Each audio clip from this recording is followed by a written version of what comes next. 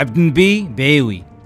تصدر عبد النبي بعيوي قائمة أسوأ شخصيات سنة 2023 رئيس جهة الشرق سابقا. البرلماني السابق بحزب تراكتور. مؤسس وصاحب شركة بعيوي للأشغال. ابن مدينة وجدة في ضيافة الفرقة الوطنية للشرطة القضائية. بعدما أحيل من طرف قاضي التحقيق بمعية عشرين شخص واربعة في حالة سراح مؤقت في ملف إسكوبار الصحراء.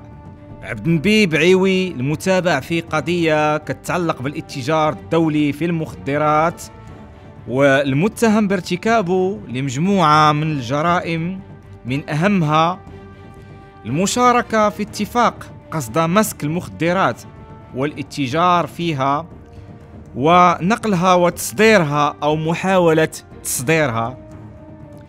الإرشاء والتزوير في محرر رسمي.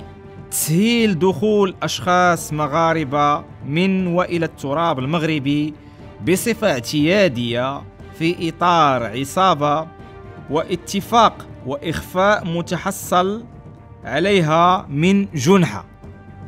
وزيد وزيد الحصول بعيوي حريرته حريرة والأحكام في مثل هذه القضايا ثقيلة ولسنوات عديدة. وما بقى لنا إلا نقولوا بأن عبد النبي بعيوي رئيس جهة الشرق سابقا واحد من أسوأ الشخصيات سنة 2023